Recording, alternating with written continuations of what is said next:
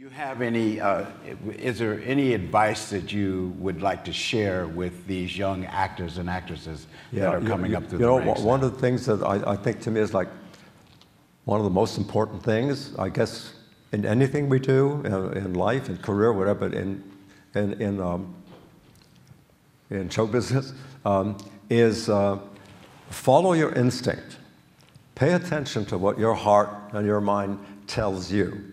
Because um, when things are going on around you, and there are diff- different voices with different opinions and so on, and they're coming from people you think are supposed to know, and a lot of time they don't, uh, you start, and I, because I know that's what I've done. I, uh, there were times when I didn't listen to my instinct. I wanted to, but I didn't have the courage to.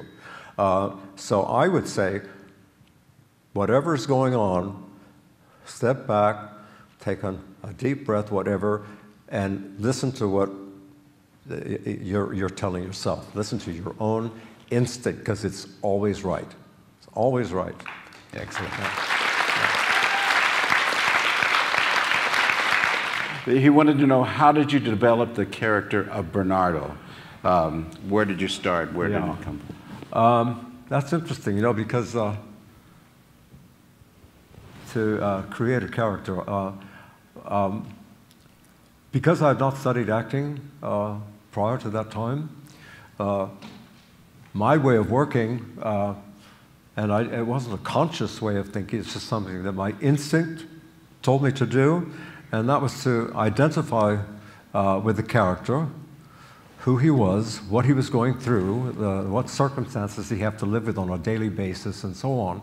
Um, and when I was in school myself, when I was in high school, you know, the, um, uh, you know, there were uh, sororities and fraternities, and you know, the kids who were. I was asked once to, to join a fraternity, and uh, for some reason I didn't want to do it. And I think the reason I didn't want to do it, I'm sorry, I'm getting to your answer. I hope at the same time, uh, was because I didn't like this thing of some kids included and some kids excluded. You know, some kids were in, some kids were out. And I have never approved of kids doing that to each other, you know.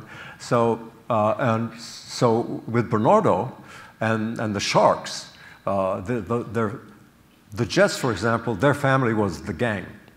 Uh, the Sharks had families. They had mothers and fathers and grandmothers and cousins and each other. Um, but uh, so when they came to the, you know, to the new country or a new place, and when they were on the first day out on the street, they're looked down upon, you know, by the, they're called names. And, and, and so I've always um, felt badly for anybody who, who, has that kind of experience.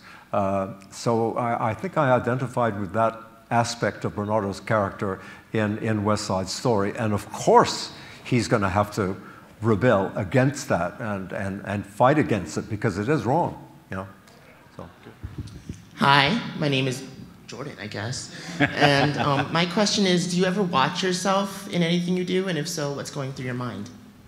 Oh, um, well, when it, when it was, you know, uh, when we were working on West Side, Natalie, Natalie Wood, mm-hmm. the beautiful, perfect great Natalie Wood. Uh, um, but she was, a, she was 23, but she was a professional. She'd been in movies since she was a kid, you know. And she, went, she watched the rushes every day. That's what you do. You watch her work, see what you've done, and see if you want to change anything or work on it. And one day she said, George, you know, to come to the rushes. I went to the rushes one day, and that was enough for me. I didn't want to see anything, you know. So, because um, uh, I, have always found for me, uh, it's better not to look at myself. It's like it's kind of like being in, in the theater uh, and and and uh, uh, re if, reading a review. If if a review is bad, it gets in your way. If it's good, it gets in your way. So it's better. I I felt better.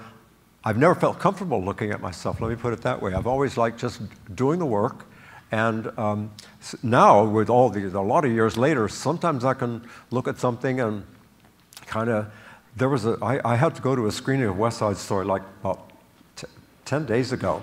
and I hadn't seen it in a long time. I still get uncomfortable. Uh, it's like I would have changed, I, you know, but that's a long answer to your question. I don't, I don't, I don't like looking at myself that much. All right.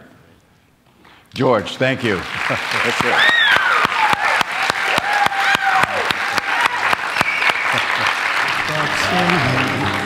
Maria,